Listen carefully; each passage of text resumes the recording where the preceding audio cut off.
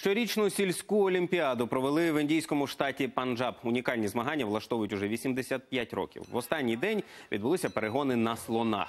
Крім того, глядачам показали акробатичні трюки на мотоциклах і політ на мотодельтаплані. Загалом індійська олімпіада налічує близько півсотні дисциплін. Є й доволі дивні. Приміром, протягти мотоцикл, тримаючи зубами за мотузку, без допомоги рук пронести плуг за завважки 60 кіло чи витримати на собі вагу авто. За словами організаторів, усе це допомагає передавати давні традиції молодому поколінню.